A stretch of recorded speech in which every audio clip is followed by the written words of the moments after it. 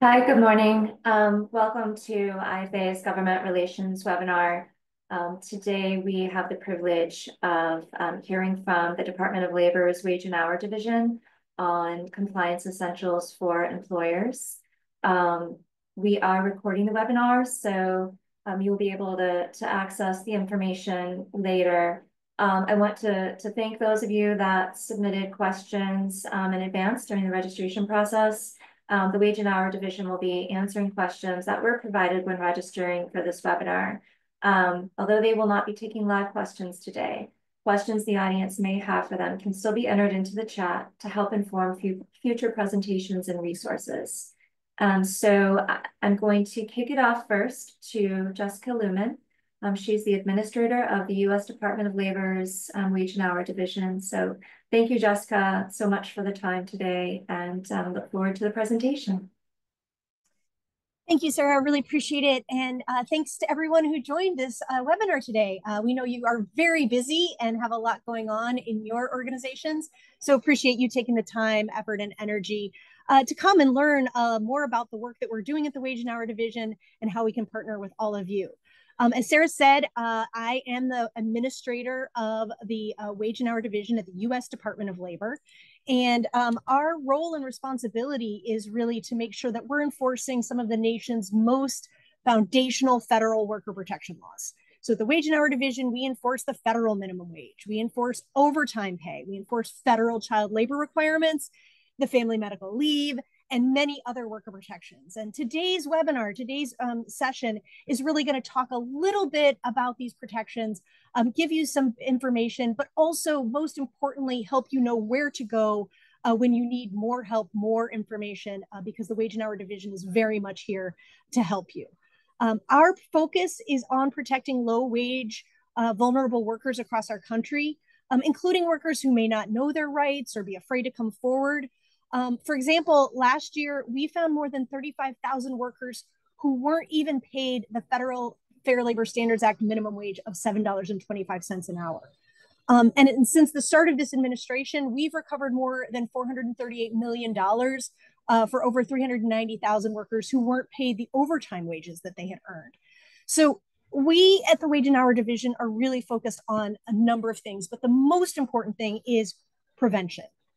Success for the wage and hour division is making sure that all workers are paid correctly on payday. And by joining our webinar today, you can help make that happen.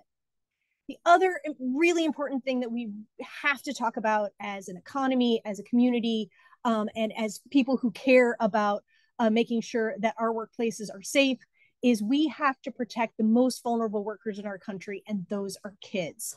Um, we know we know that there are many good age appropriate work experiences that young people can have. Everybody on this call had their first job. Um, and we know that many of you on this call provide these types of great first job, first work experiences. Um, and we want to partner with all of you to make sure we're highlighting best practices, making sure that we are keeping kids safe in workplaces. But unfortunately, in the wage and hour division, we have seen an 88% increase in the number of children employed in violation of federal child labor laws. And the most concerning of this is where we are seeing children being employed in workplaces where they never should be in the first place. Under federal law, there are three types of restrictions on employing children. There are restrictions on the minimum age for employment. There are restrictions on the hours kids can work, but there are also prohibitions against children being employed to do dangerous work. And today we're going to discuss in more detail during this presentation um, all of these restrictions, but also how we can make sure that when we are employing young people in age appropriate workplaces, that we are keeping them safe.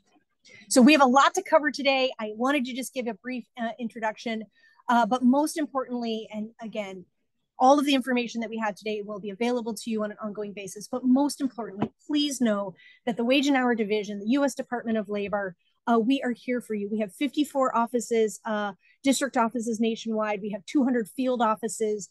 Uh, we speak multiple languages, uh, and we are really here to make sure, again, that we're preventing wage and hour violations from happening in the first place, and that you have all of the information that you need uh, to make sure that you and your businesses can be successful. So thank you so much for joining us. Again, we know you're very busy, and I am going to turn this over to my colleague, Bridget Dutton, who is going to give you information about uh, the wage and hour division, the federal laws that we enforce, and a little bit more about child labor. Bridget, over to you. Thank you, Jessica, and thank you so much for your leadership. As Jessica said, the Wage and Hour Division is committed to providing employers with the tools they need to operate in compliance with the variety of labor laws enforced by the division. We offer useful compliance resources intended to provide employers with readily accessible, easy to understand information relevant to both their rights and to their responsibilities under the law. My presentation today will provide an overview of who we are, what we do, as well as discuss some of the laws we enforce, including the Fair Labor Standards Act with an emphasis on child labor and the Family and Medical Leave Act.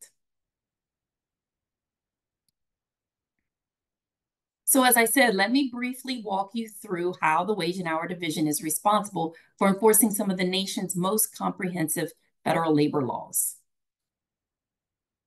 Our mission is to promote and achieve compliance with labor standards and to protect and enhance the welfare of the nation's workforce.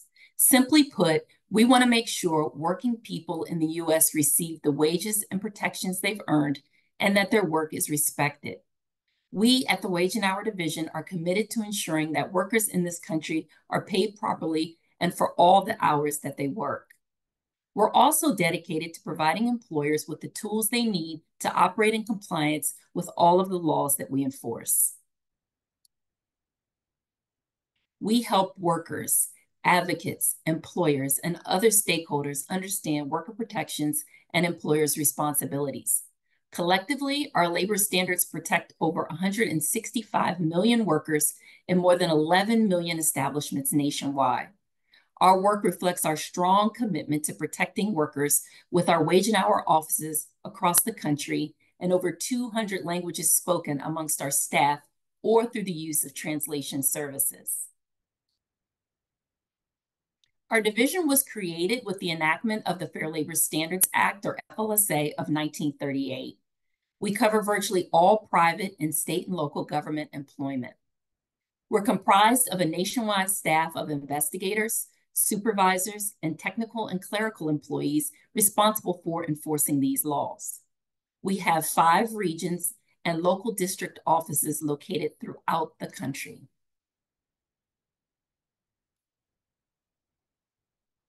We enforce federal minimum wage, overtime pay, record keeping, and child labor requirements of the Fair Labor Standards Act.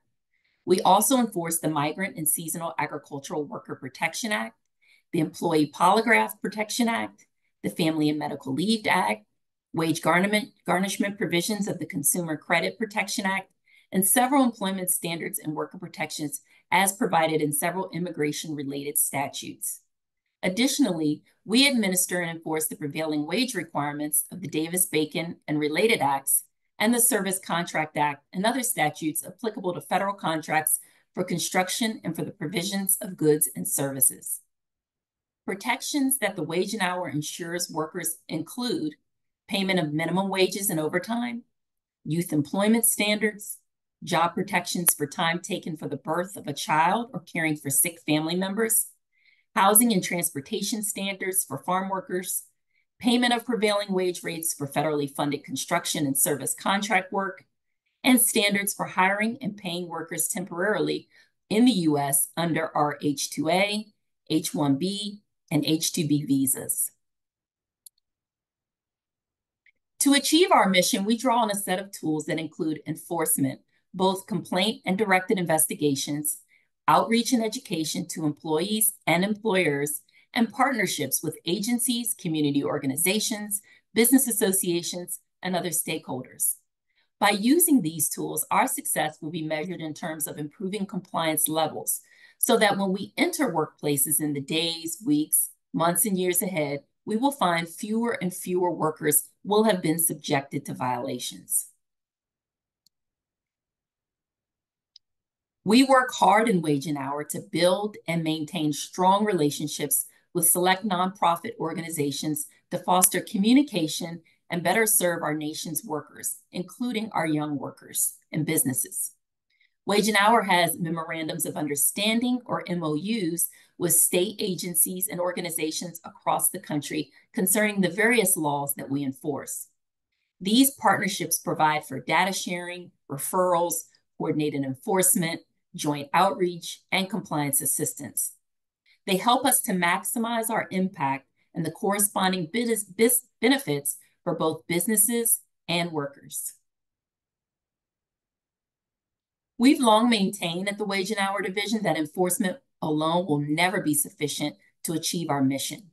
Education and outreach to workers and employers has been and will continue to be one of the division's key strategies for protecting the workforce and promoting compliance. Most employers want to comply with our laws if they understand them. Our compliance assistance and outreach work ensures that employers and employees have all the tools they need to clearly understand their responsibilities and to comply with the law and their rights as workers within this country. Now let's turn to some of the protections we provide under the Fair Labor Standards Act, or FLSA. The FLSA requires payment of the current federal minimum wage of $7.25 per hour payment of overtime at time and one half a worker's regular rate of pay for hours worked over 40 in a work week. It requires accurate record keeping for employees, including a breakdown of daily and weekly hours worked, wages paid, and deductions made, and protections for young workers under the child labor portion of the Act. The FLSA does not require vacation, holiday, severance, or sick pay, meal or rest periods, holidays off, or vacations, though some state or local laws may require these. So make sure you check with your local state as well. The Wage and Hour Division can enforce the provisions of the Fair Labor Standards Act only when an employment relationship exists between an employer and a worker.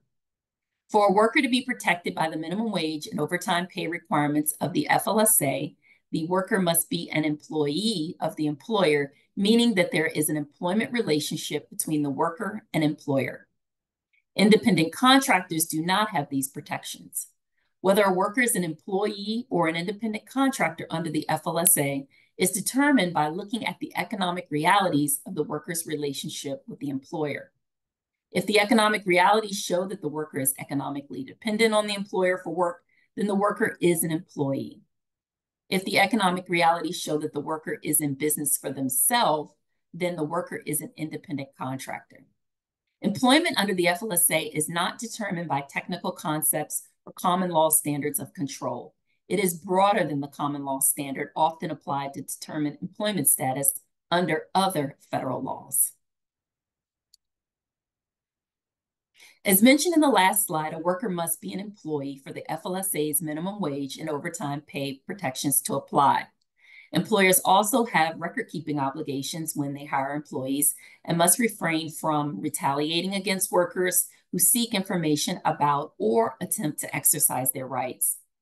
Misclassifying employees as independent contractors, however, is a serious concern under the FLSA, as well as for businesses and the government generally because misclassification denies workers benefits and protections which they are entitled to receive under the FLSA, such as minimum wage and or overtime pay.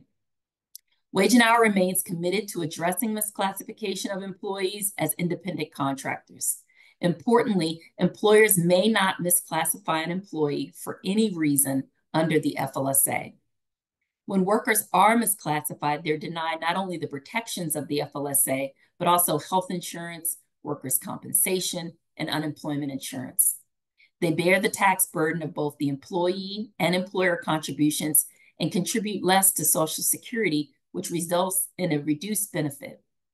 Additionally, law abiding businesses must compete against an employer working with unfair and artificially lower labor costs and the federal government loses millions of dollars in tax revenue that funds critical programs. FLSA coverage or protection is determined in two ways. First, employers who are engaged in a business that generates an annual dollar volume of sales or business done of at least $500,000 per year are covered on an enterprise basis by the FLSA and must pay all employees engaged or working in that business overtime and the minimum wage, unless one of the many exemptions of the law applies to the employee. Importantly, the key criterion for this provision is business or sales revenue. Coverage also applies to certain named enterprises, regardless of their revenue. If enterprise coverage doesn't apply, the second way the FLSA could extend to employees is individually. Individual coverage applies to employees whose work regularly involves them in commerce between states or interstate commerce, which for our purposes means individual workers who are engaged in commerce or in the production of goods for commerce. In the restaurant in industry, individual coverage is most commonly established when an employee processes a customer's credit card payment. If electronic credit card payments are sent across state lines for processing, the individual who runs the transaction is individually covered by the Fair Labor Standards Act. Again, the FLSA requires payment of the current federal minimum wage of $7.25 per hour. This may be more in some states. 30 states, including DC, Guam, and the Virgin Islands, have minimum wages higher than the federal minimum wage. To determine whether an employee has been paid the minimum wage for all hours worked in each week, you need to add up all the compensation received and divide that amount by all hours worked for the week. Payment counted towards the minimum wage can include wages such as salary, hourly, piece rate, commissions, some bonuses, tips received by eligible employees, and the reasonable cost of room and board. This can also include other facilities provided by the employer for the employee's benefit. Other facilities provided by the employer could include such items as meals or transportation. Reasonable cost of fair value means room, board, or other facility is provided to you by your employer at the actual cost to your employer and not including a profit to them.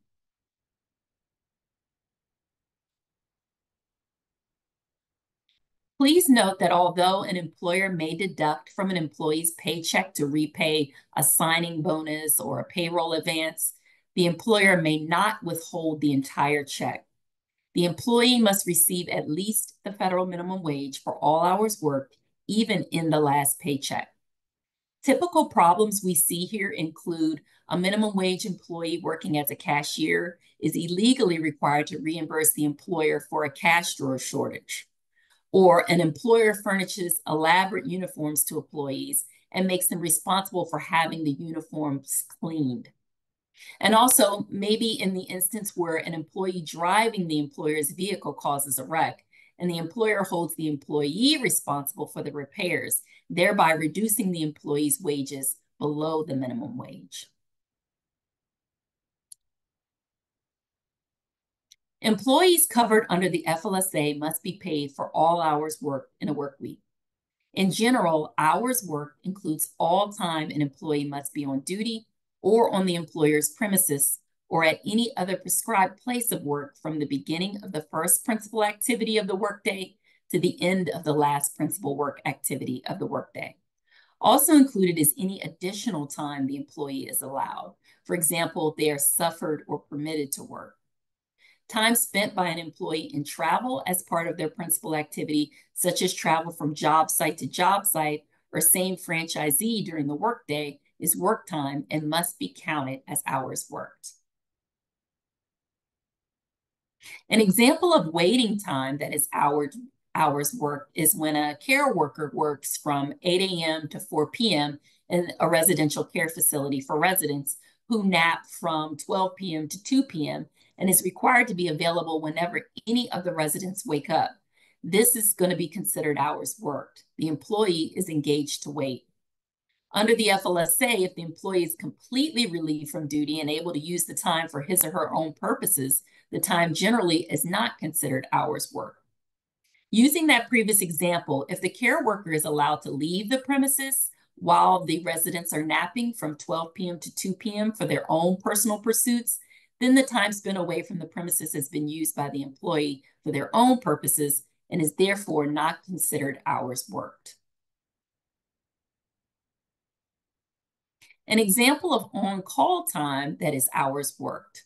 Let's have a care worker working at a hospital um, on a shift from 7 a.m. to 3.30 p.m., and they're asked to remain on site until 4.30 p.m. during bad weather in case too many employees arrive late.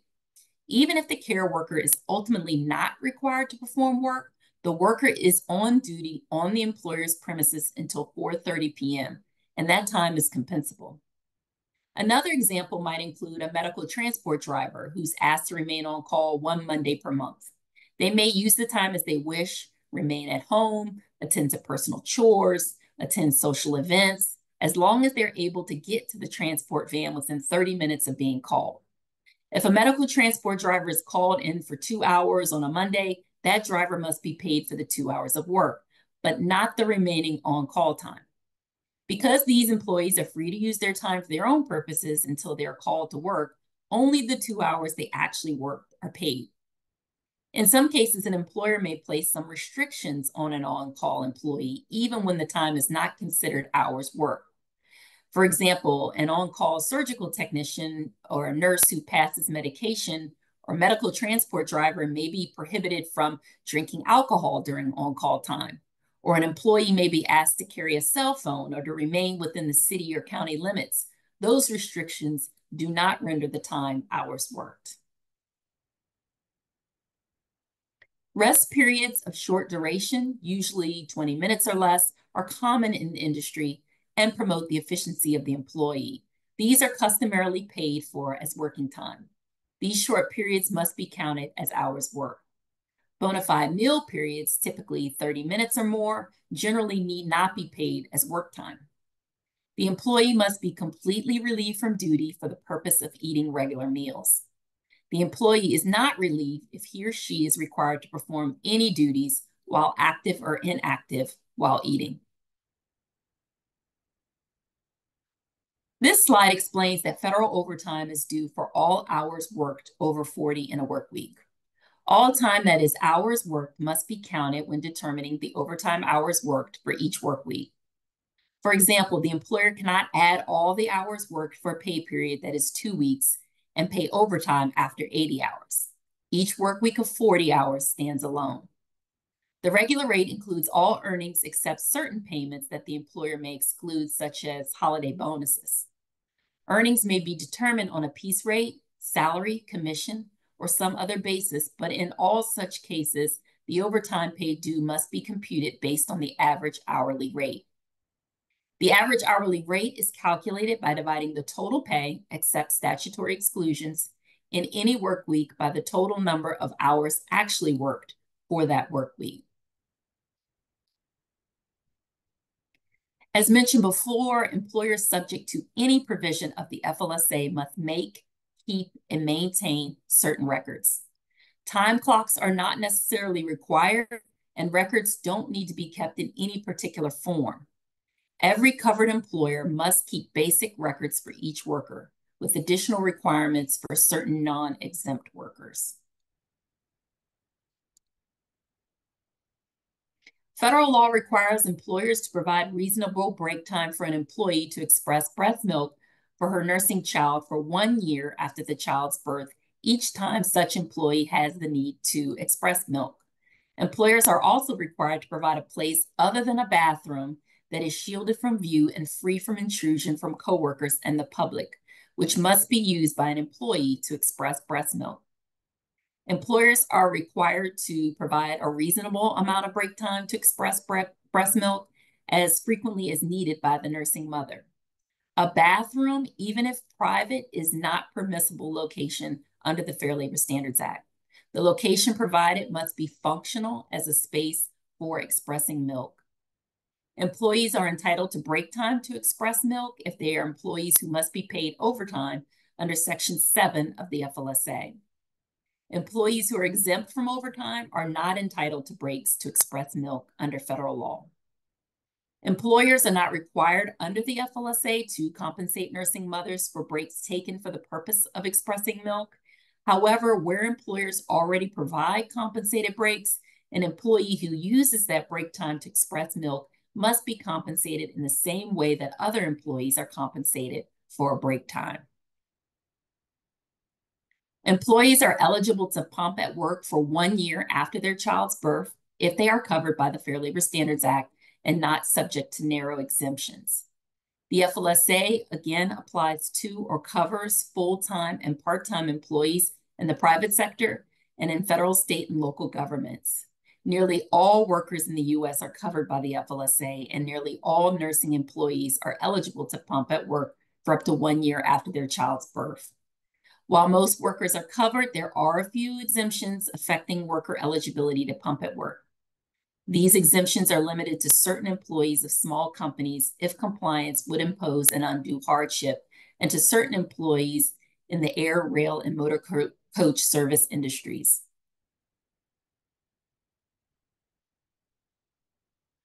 The Department of Labor is dedicated to helping young workers find those positive and early employment experiences, but the work must be safe.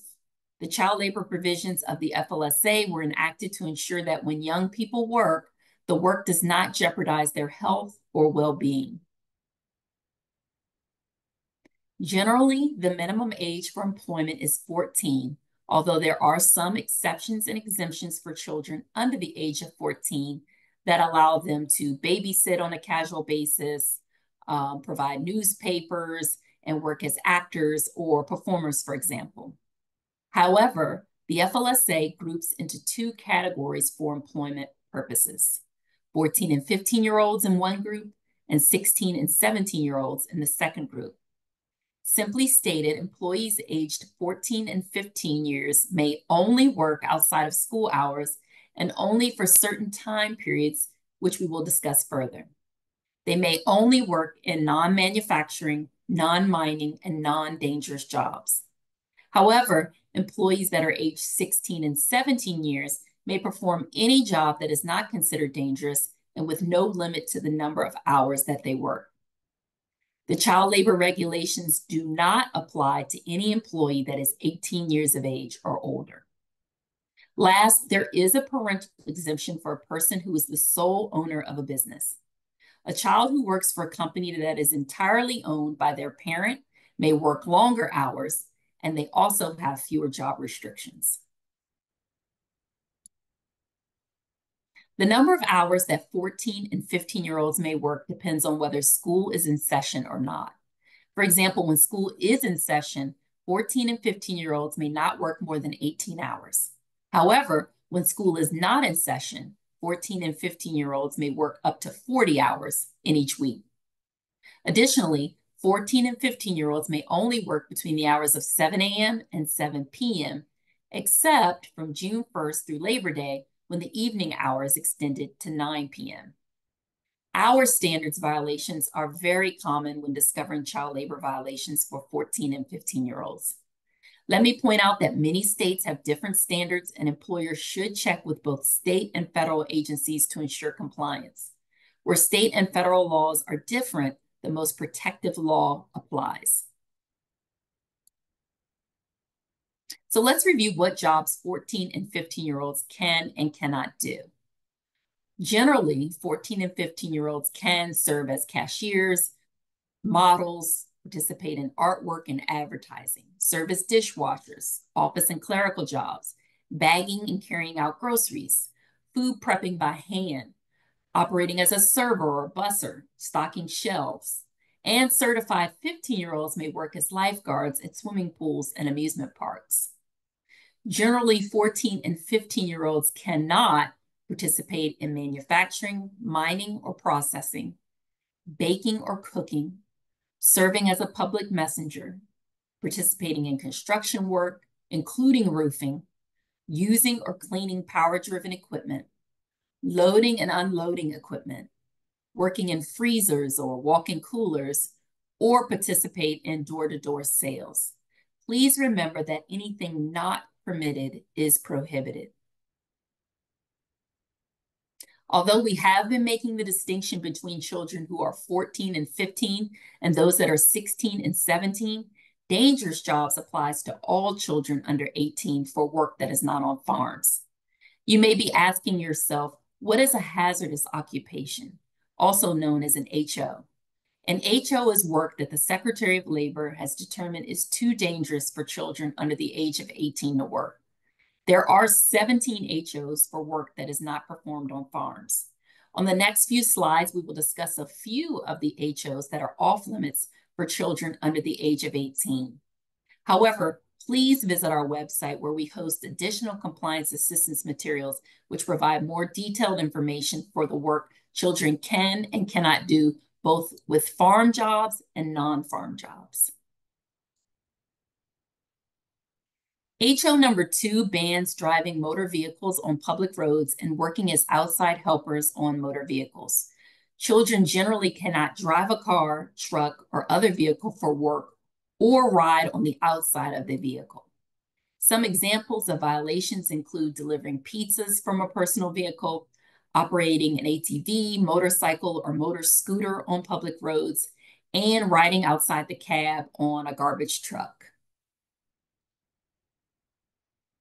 HO number 11 involves work with bakery machines and generally bans children from using, operating, cleaning, maintaining, or repairing mechanical dough mixers, dough rollers, or other types of bakery machines.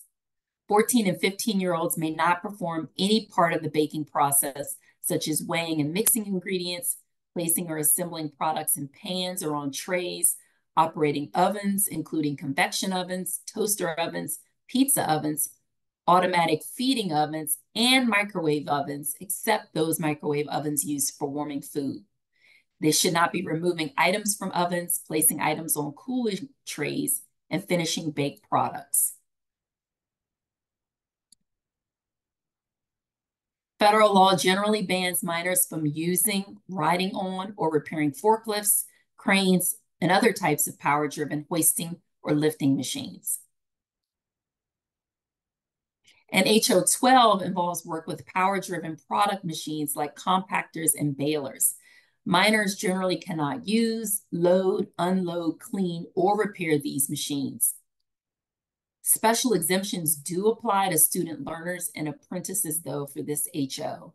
In some circumstances, 16 and 17 year olds can load but not unload certain machines used only for paper. Generally, minors under age 18 shouldn't load, operate, or unload scrap paper balers and paper box compactors.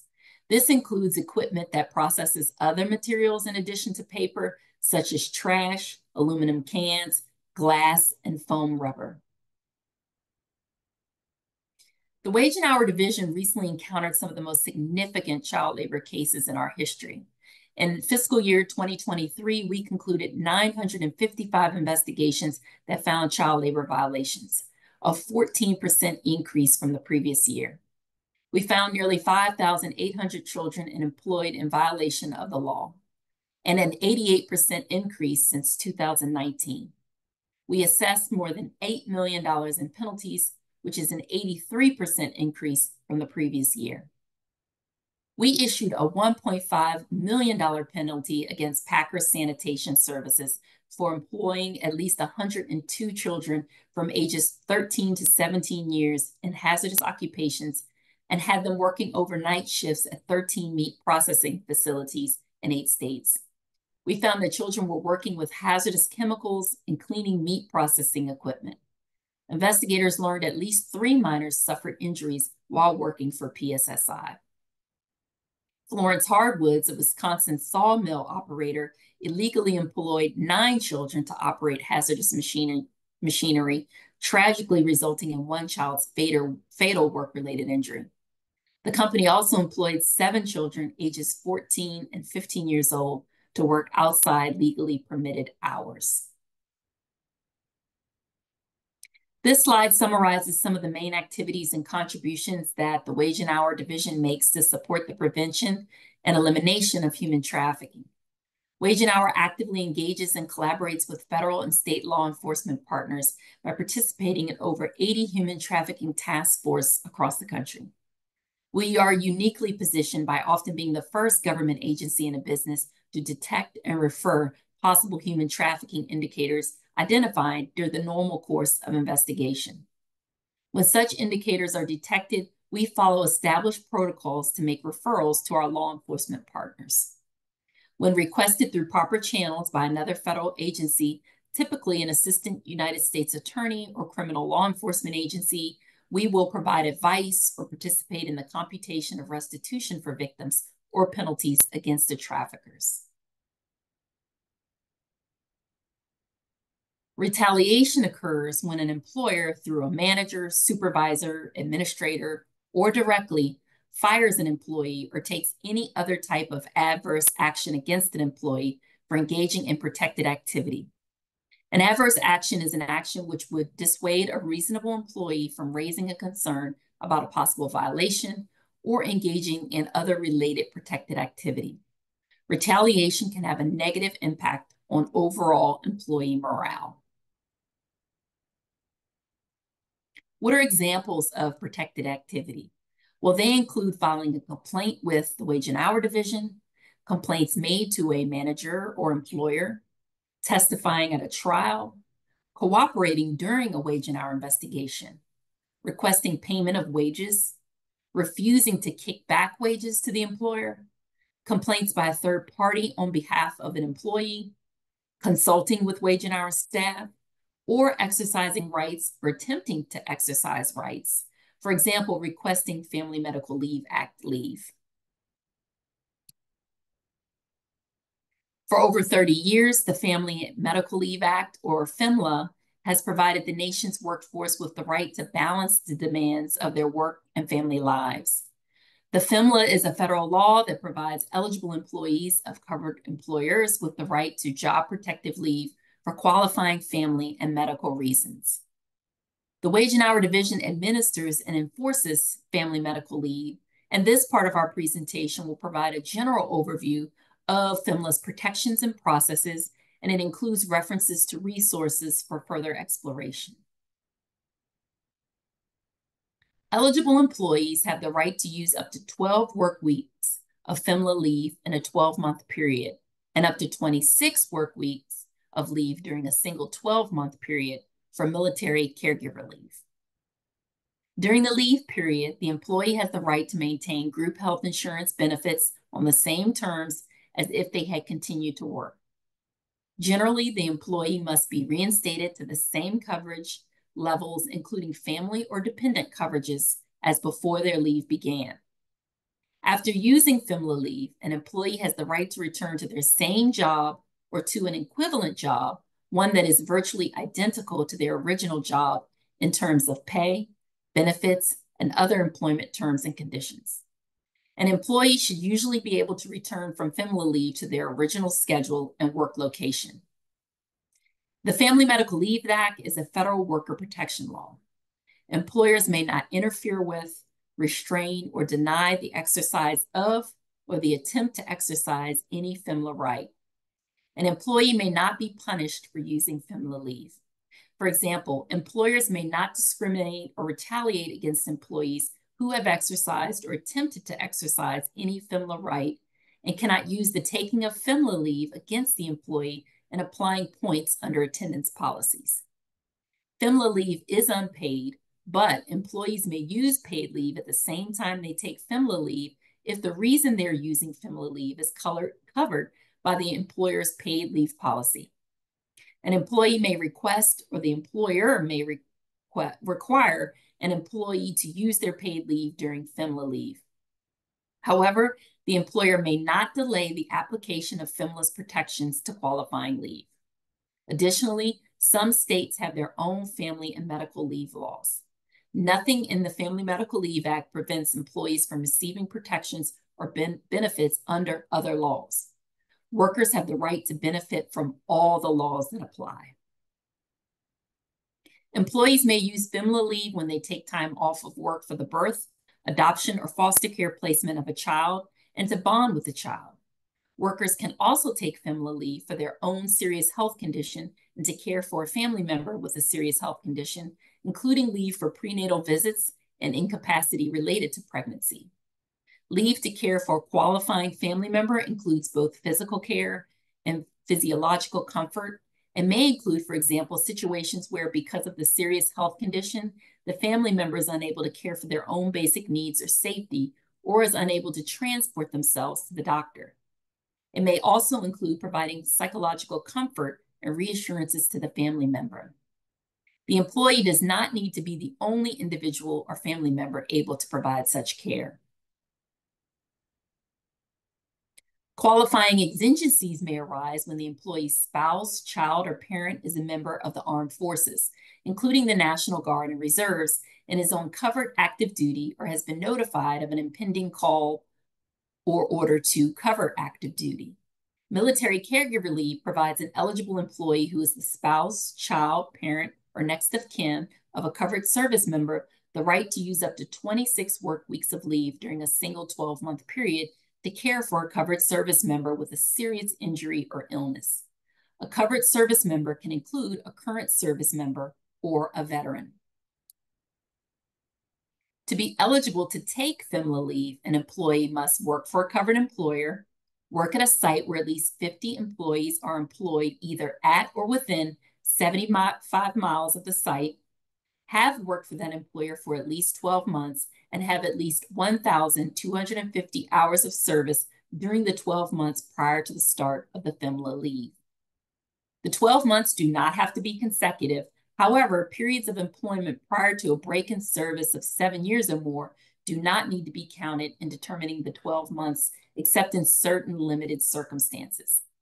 The employer could would have to consider employment before a seven-year break in service where the break in service is the result of an employee's fulfillment of a National Guard or Reserve military service obligation, or where a written agreement exists, including collective bargaining agreement or CBA, concerning the employer's intention to rehire the employee after the break in service. To determine if an employee has 1,250 hours of service in the 12 months prior to the start of FMLA leave, generally the actual hours worked as defined by the FLSA are counted. Paid or unpaid leave, including FMLA leave, does not count as hours worked. If an employee has worked an average of more than 24 hours a week during the 12 months before the leave starts, the employee will generally meet the hours worked eligibility test. Special eligibility requirements apply to airline flight crew employees. The Uniform Services Employment and Reemployment Rights Act, which is enforced by the Department's Veterans Employment and Training Service, or VETS, requires employers to count the months and hours that military members would have worked if they had not been called up for military service towards FMLA eligibility. The FMLA covers all private sector employees who employ 50 or more employees, again, for at least 20 calendar work weeks in the current or preceding calendar year, including joint employers and successors of covered employers. Public agencies, including state, local, and federal employers, and local education agencies, those include public and private elementary and secondary schools. FMLA applies to public agencies and schools, whether public or private, regardless of the number of employees. A joint employment relationship generally will be considered to exist under the Family Medical Leave Act in situations such as where there's an arrangement between employers to share an employee's services or to interchange employees, where one employer acts directly or indirectly in the interest of the other employer in relation to the employee, and where the employers are not completely disassociated with respect to the employee's employment and may be deemed to share control of the employee directly or indirectly because one employer controls, is controlled by, or is under common control with the other employer.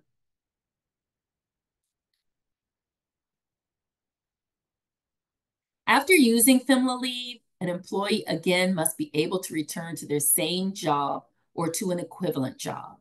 We've defined what an equivalent job means, but again, it's virtually identical to the employee's original job in terms of pay, benefits, and other employment terms and conditions. An employee should usually be able to return from FMLA to their original schedule and work location. An equivalent job also includes the same or equivalent pay premiums, such as shift differential, the same opportunity for overtime, any unconditional pay increases that occur while the employee was on FMLA leave, such as cost of living increases, and any unconditional bonuses or payments. Some pay increases and bonuses are based on meeting certain requirements or achieving a goal. For example, an employee may be able to earn a pay increase based on their seniority, length of service, work performance, attendance history, or safety record. Employees who use FMLA leave have the same right to conditional pay increases, bonuses, or payments as employees who use similar types of leave. The FMLA does require that benefits such as life insurance, disability insurance, sick leave, vacation, educational benefits, pensions, retirement also be available when the employee returns from FMLA. These benefits must be resumed in the same manner and at the same level as when the leave began, unless changes came about that affected the entire workforce. Again, an employee returning from FMLA leave does not have to requalify for any benefits they enjoyed before the leave began. Employers cannot use the taking of FMLA leave as a negative factor in employment actions such as hiring, promotions, or disciplinary actions. Again, examples of prohibited conduct include refusing to authorize FMLA leave for an eligible employee, discouraging an employee from using FMLA leave, manipulating an employee's work hours to avoid responsibilities under the Family Medical Leave Act, using an employee's request for or use of FMLA leave as a negative factor in employment actions, such as, again, hiring, promotions, or disciplinary, disciplinary actions, or counting FMLA leave under the no-fault attendance policies. Any violations of the Family Medical Leave Act or the department's regulations constitute interfering with restraining, or denying the exercise of rights provided by the Family Medical Leave Act. I've shared a lot of information with you today, but as Jessica said, you can always contact us to learn more. You can contact us at our 1-866-4-US-WAGE or 1-866-487-9243 or visit us at our website, if you call us, you will be directed to the nearest wage and hour office to you for assistance. There are offices throughout the country with trained professionals ready to help you with questions or concerns.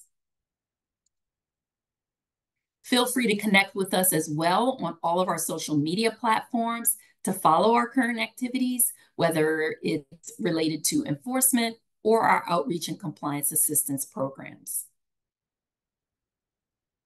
That ends my portion of today's webinar, and now I'm going to turn it over to Serena Bazil Cox, a wage and hour specialist and senior advisor in the Division of the Fair Labor Standards Act at the Wage and Hour Division, to provide answers to your questions previously submitted when registering for this webinar. Serena? Thanks, Bridget. Let me make sure that I, there we go. So thank you so much. And again, thank you all, um, IFA, for joining us today. Um, we received many questions, and so I will start. The first question that I have is, what is the most common issue Wage Hour has seen or cited franchise employers for with respect to child labor? Now, under the law, under the federal law, there are three types of restrictions um, on the employment of children. And as Jessica mentioned earlier, there are restrictions on the minimum age for employment, restrictions on hours worked, and the prohibition against children being employed to do dangerous work. Some of the more common child labor violations that the Wage and Hour Division finds among franchise employers include 14 and 15 year old workers employed longer or later than the FLSA allows, 14 and 15 year old workers employed in prohibited occupations such as baking, cooking, and work in freezers and or meat coolers, and workers under the age of 18 employed in dangerous jobs, such as driving vehicles or operating power driven machines, including meat slicers, dough mixers, balers, trash compactors, and forklifts, for example. The next question I have is, what issues should franchise employers be most aware of regarding the employment of workers under the age of 18? At the Wage and Hour Division, we believe everyone involved in a young worker's life, including their employers, can play a role in keeping children out of harm's way. We know that franchise employers can help ensure that teenagers' first jobs are good, safe jobs. And we know that employers may be able to influence business practices based on their economic position or advocacy role within an industry. To ensure that young workers' well-being and educational opportunities are not jeopardized by their first work experiences, franchise employers should be aware, as Bridget discussed in her presentation, the minimum age of employment in non-agricultural work, which is 14 the specific limits to daily and weekly work hours for 14 and 15 year olds, especially when school is in session. Also, be aware of the jobs that are prohibited for workers between the ages of 14 and 15, and the dangerous jobs that are considered hazardous for all workers under the age of 18. Franchise employers should also be aware of the extensive online tools and confidential compliance assistance that the Wage and Hour Division offers in our 200 local offices across the country. We offer a wealth of information and resources about child labor protections and employer responsibilities. Our website and our trained professionals throughout the United States can provide specific details on the FLSA's hours and occupation standards that keep young workers safe. The next question is, what resources are available to assist IFA members in complying with federal child labor laws? Well, in addition to our 200 local offices across the country, the Wage and Hour Division has 54 community outreach specialists nationwide who can facilitate events and partnerships in your area to promote compliance with child labor laws. Our website also includes several resources to help IFA members comply with child labor laws. On our website, you will find a youth rules webpage with child labor information and videos for employers, parents, educators, and young workers, fact sheets, posters, and employer self-assessment tools. We also have a web page with seven, seven child labor best practices for employers and a guide to jobs and tasks that are off limits for anyone under the age of 18. Of course, we also have that toll free helpline that Bridget mentioned at 1 866 4 US Wage to offer confidential compliance assistance. And we speak with callers in more than 200 languages. The next question I have is Are there national minimum wage raises coming soon? At the Wage and Hour Division, we administer and enforce laws as enacted by Congress. Although there may be updates to the federal minimum wage proposed in Congress, we cannot comment on those while they are still in the proposal phase. Currently, Congress has set the federal minimum wage at $7.25 an hour for most workers. We also know that Many states and localities across the country have different minimum wages. In fact, we have a guide to state minimum wage laws on our website that's updated regularly. Fortunately, there's a simple principle to follow no matter where a franchise employer operates. The law that provides the greatest worker protections applies. In other words, if an employer is subject to the Fair Labor Standards Act, then the FLSA sets a floor on wages. State laws can provide more protection and a higher minimum wage than the FLSA, but states cannot provide lesser protections. If state laws are weaker than the protections provided under federal labor laws, the federal labor law prevails. The next question I have is, with respect to overtime, what is the most common concern or compliance issue that DOL has seen with franchise employers and overtime? Violations of overtime rules continue to be the most common of all Fair Labor Stack, all Fair Labor Standards Act violations. As Jessica mentioned, since the start of this administration, the Wage and Hour Division has recovered more than $438 million for over 390,000 workers who were not paid the overtime wages that they had earned.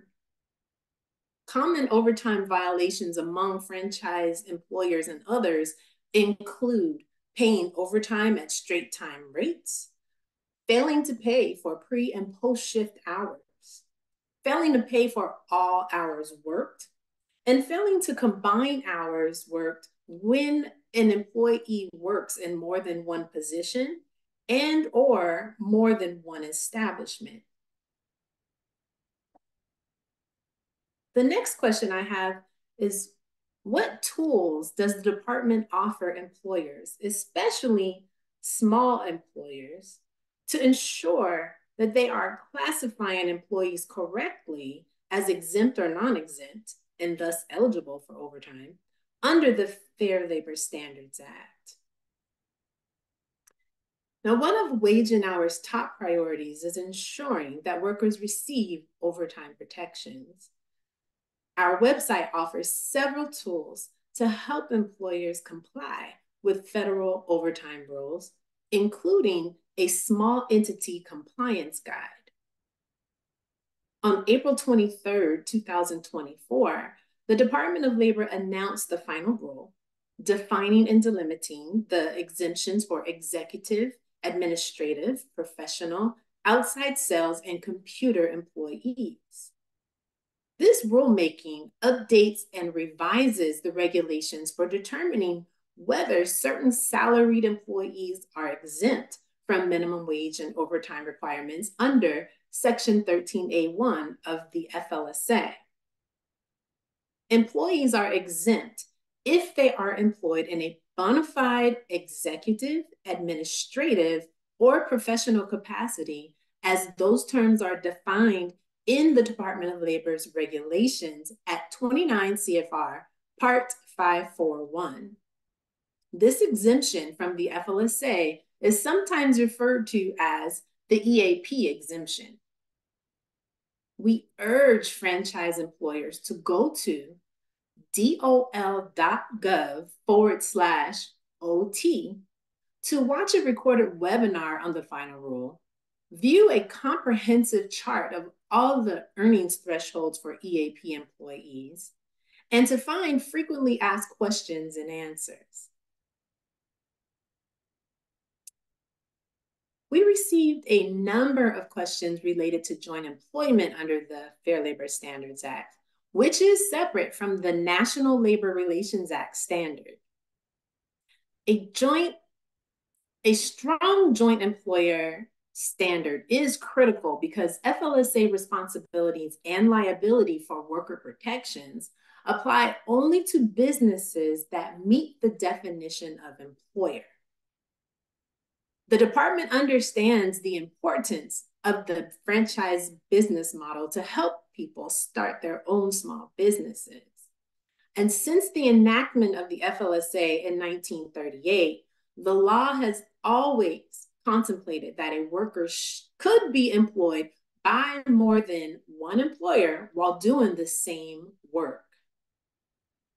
The Wage and Hour Division will continue to follow applicable law and judicial precedent when evaluating joint employment relationships. So this concludes the question and answer portion of the webinar. And again, thank you for your questions. And I will now turn it back over to Sarah Davies. Thank you. Thank you, Serena. That was um incredibly helpful. And, and if you have additional questions, um, as we said at the beginning, feel free to um, submit them into the chat and we will provide them to um, Jessica and Bridget and Serena so that it can shape future presentations. Um, in addition to accessing all the resources that, that Serena just mentioned. Um, I want to thank again Jessica and Bridget and Serena for um, the really practical and informative session. Um, again, it's recorded and we'll make that available to um, registrants to the program afterwards. And thank you all for joining us for this webinar. Bye.